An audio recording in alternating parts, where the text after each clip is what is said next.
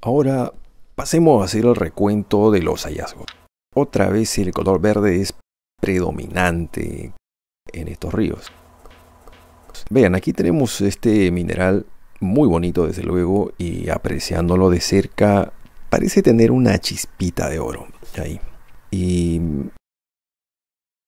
el resto es una variedad de gamas de color verde muy suave con una beta de cuarzo cristalino, como se ve. Y bueno, es una buena muestra creo yo para seguirle los pasos y Tal vez algún día llegar a la cantera para volverme realmente rico de estas piedras. Este otro canto rodado con un color jade verde y no presenta tantas rajaduras, casi nada.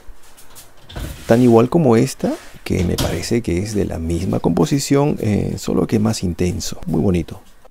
Me gusta. Aquí creo yo la mejor muestra de estos minerales, ya que se presta a la, fantasía y debido a eso, eh, a sus seis colores o gamas y su dureza aceptable, creo yo que rondará los seis en la escala de Mohs, es eh, pues eh, que sin duda es, la hacen una, una piedra especial, linda pieza mineral de aquellos ríos, muy linda. Quizás ya no retorne más por esos lugares, pero quiero llevarme conmigo lo más expresivo de lo que significa un souvenir, la memoria.